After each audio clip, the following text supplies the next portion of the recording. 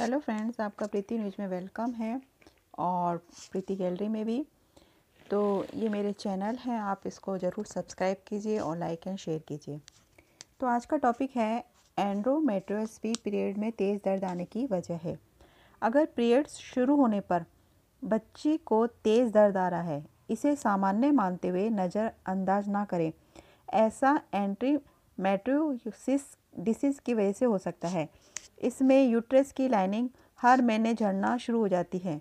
वहीं प्रेगनेंसी में इस लाइनिंग का प्लासेंटा बन जाता है। इसमें पीरियड की ब्लीडिंग फेलोपियन ट्यूब के ज़रिए पेट के तक पहुँच जाती है। कई बार ब्लड वेसल्स के ज़रिए लाइनिंग के टुकड़े पेट में पहुँचने से हार्मोन्स डिस्टर्ब हो जाते हैं।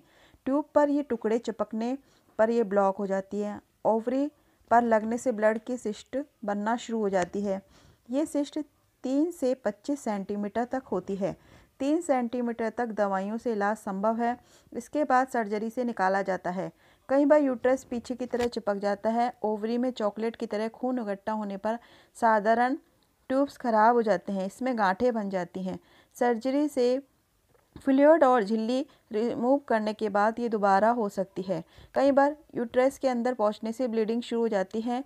वहाँ गांठ बनने से एडी नोयोमस और चारों तरफ़ फैलने पर एडिनोमस कहलाती है। एडिनोमस में कटकर अलग एडिनोमस होने पर दवाइयाँ ठीक जाता है। कई बार यूट्रस भी रिमूव करना पड़ता है। सर्विस पर होने पर यह मालूम नहीं चल पाता है कि ये एड्रोमेडस है या फिर कैंसर।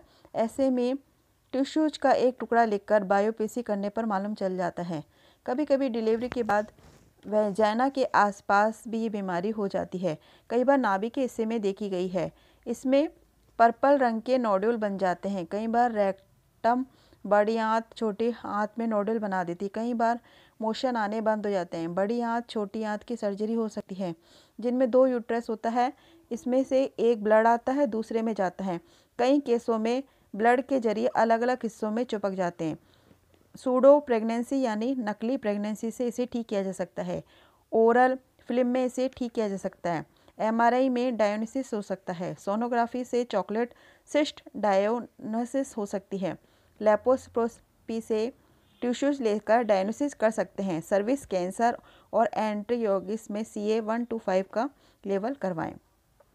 तो आज का टॉपिक ये। कल मैं दूसरा टॉपिक होंगी कि मोटापे से बचने के लिए बच्चों में विटामिन डी की कमी ना होने दे। तो बाय बाय टेक केयर